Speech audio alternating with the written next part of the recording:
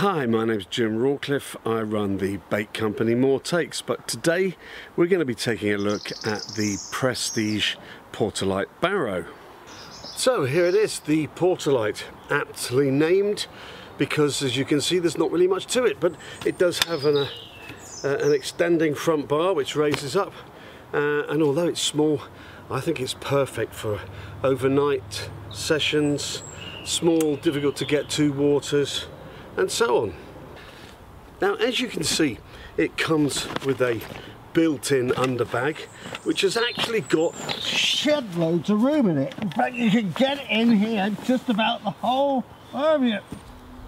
In fact when you consider how big I am this bag must be enormous.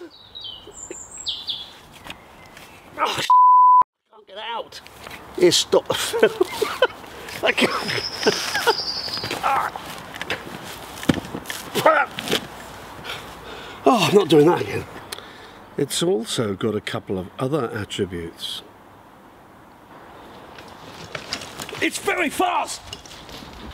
The fold-away handles make really good imitation deer horns in case you come up against a deer like, you know, in the park and you need to frighten them off. And they make really good hockey sticks for when you're bored.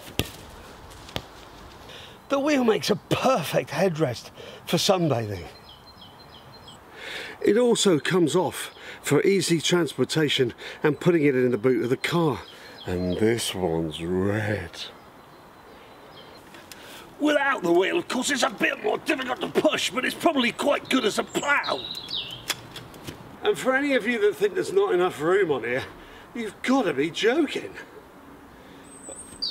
So there you have it, the Porterlite Barrow from Prestige. I don't know about light, I think I probably would have called it the Porter, not quite as heavy as the other Porters, but um, even so, it's not the end of the world for me to hold that. I think it's a great piece of kit. Uh, I think there's tons of room on here for you uh, for you short second anglers, but uh, if you can't get what you need on here for a weekend, then you're taking too much gear, lads. So there you go. Thank you very much to James Geary for letting me have this one second hand to do this review but I can assure you I will be using it in the future.